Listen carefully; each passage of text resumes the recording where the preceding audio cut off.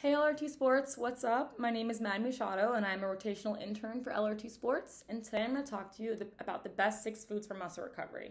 So, first we have up is cottage cheese. Cottage cheese is so great because it's an awesome source of whey protein, which is known for its role in replenishing muscles after an intense workout. Cottage cheese also contains casein protein, which aids in the recovery of your muscles while you sleep. Next up, we have sweet potato.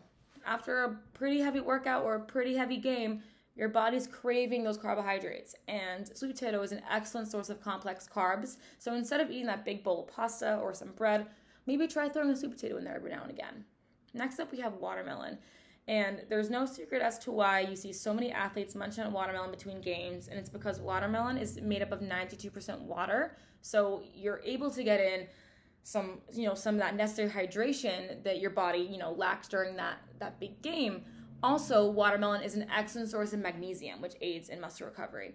Next up, we have eggs. Eggs are an excellent source of protein, which your body and your muscles desperately need to rebuild and recover. You're really not going to get as much out of that workout or that practice you just put in if you don't put, put some protein in your body. Next, we have spinach. No secret here, spinach is obviously really rich and packed with tons of nutrients and vitamins like vitamin A, C, K1, calcium, potassium, magnesium, you name it, spinach has got it.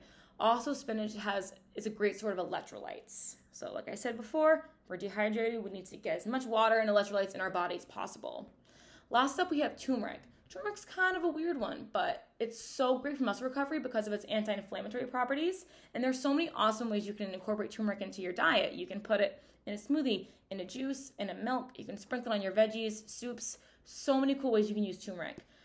So, yeah, those are six foods that you can try today that's to help with your muscle recovery, and I'm sure you'll see results. Thank you so much for listening.